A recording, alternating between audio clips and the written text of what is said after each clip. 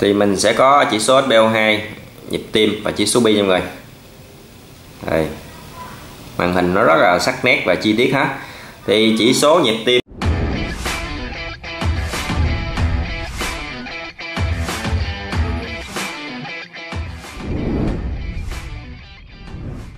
Xin chào tất cả mọi người đã quay trở lại với channel hàng hot Thái Thắng. Trong video ngày hôm nay mình sẽ giới thiệu đến mọi người những dòng sản phẩm máy đo SpO2 nha mọi người. Hay còn gọi là máy thể hiện mức độ bão hòa của oxy trong máu ha. Thì bên cạnh mạch nhiệt độ, huyết áp, nhịp thở thì chỉ số chỉ số SpO2 hiện được xem như là dấu hiệu sinh tồn thứ năm nha mọi người. Nó rất là quan trọng cho cơ thể ha. Thì máy này thì nó sẽ giúp cho mình có thể theo dõi tình trạng sức khỏe của người mắc Covid cho người hay F0, F1 tại nhà ha. Và quay trở lại những, những dòng sản phẩm này thì bên mình đang cung cấp ba cái dòng đó là LK88, LK89 và A200 nha mọi người.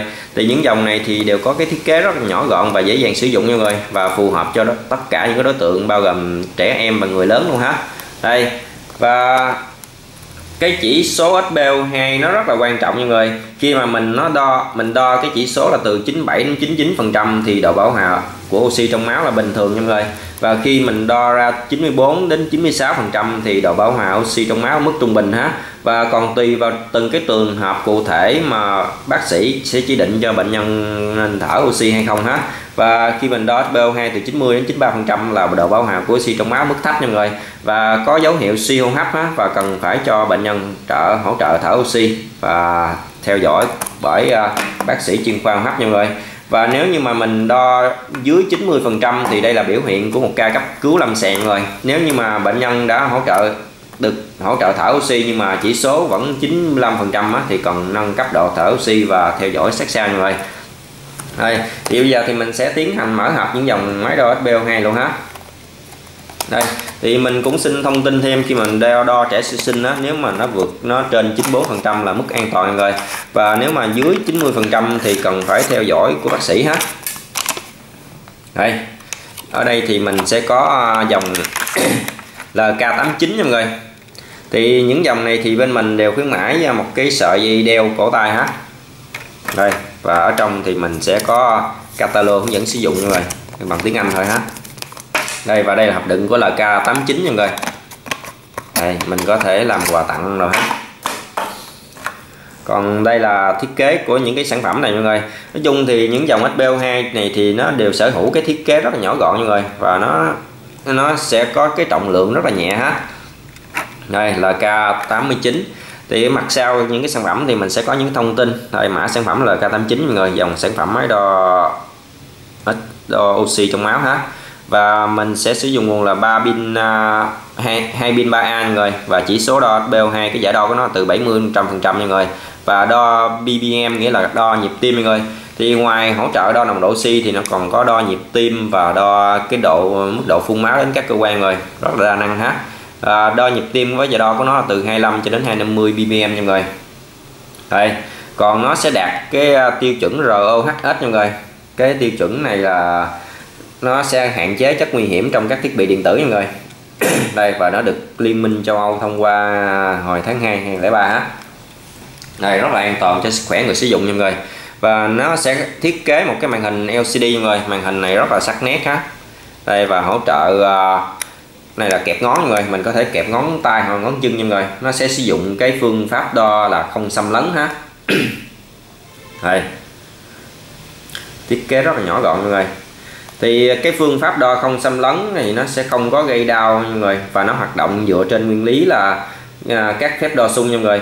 Nghĩa là khi kẹp cái máy đo SPO2 này vào vào đầu ngón tay hoặc ngón chân á thì cái đầu dò cảm ứng của máy đo nó sẽ phát ra cái ánh sáng hồng ngoại đi xuyên qua các mô có nhiều mao mạch nhỏ mọi người. Và hồng cầu có trong các mao mạch nó sẽ hấp thụ một phần ánh sáng hồng ngoại ha. Và từ cái lượng ánh sáng chưa bị hấp thụ còn lại thì máy đo SPO2 kẹp ngón này nó sẽ tính ra cái số lượng hồng cầu có chứa oxy mọi người và nó sẽ hiện ra phần trăm độ hào oxy trong máu và mạch ha. Đây, không xâm lấn. Này rất là hiện đại người. Những dòng máy à, đây là K88 này ha. Là K88 đến 9 thì à, thiết kế rất là nhỏ gọn nha người. Đây. Ở sau thì cũng có những cái chỉ số ha. 70 trăm. Đây. Và ở đây thì mình sẽ có thêm một mẫu A200 người. Mẫu này thì à, cũng rất là sang trọng luôn. Và cũng có catalog và video hết nha mọi người đây, màu đen. Này ha thì à, điểm chung của những dòng máy này thì nó có, chỉ có một cái nút nguồn thôi mọi người, và sử dụng rất là đơn giản ha ở đây thì mình sẽ thử cái là K889 nha mọi người. Đây, mình sẽ bật cái nút nguồn lên ha mình sẽ đè vào một xíu đây và mình sẽ kẹp vào cái đầu ngón tay người mình sẽ úp ngón tay xuống ha và khi sử dụng thì mình sẽ đặt cái tay cố định trên bàn nha mọi người. Đây. À, nó đo ha mình sẽ đợi một xíu mọi người. Đây 97 phần trăm mọi người. 97 đến 99 nghe là cái độ bảo hòa oxy trong máu là bình thường mọi người. Thì mình có thể nhấn vào cái nút nguồn này để mình lọc cái à, cái à, cái thông số ha cho nó phù hợp nó thuận theo cái chiều quan sát của mình nha mọi người. Nghĩa là khi mà mình à, bệnh nhân nằm ở trên giường á thì mình sẽ nhấn vào cho nó mình dễ quan sát nhất ha. Đây. ở đây, những cái máy này thì nó sẽ có những cái chế độ báo động nha mọi người. Mình sẽ à, vào cài đặt bằng cách là mình sẽ đè vào nút nguồn ha. Đây và ở đây thì nó sẽ có chức năng báo động mọi người đang tắt ha. Mình muốn bật về on á, thì mình sẽ đè vào nút nguồn mọi người. Đây và ở dưới đây thì à, báo động bằng tiếng bíp ha. Đây cái cảnh báo à, lượng cảnh báo BO2 à, dưới dưới à, 94 phần trăm thì nó sẽ báo lên mọi người. Và BR là nhịp tim ha. Khi mà nhịp tim cao hơn 130 thì nó sẽ báo mọi người.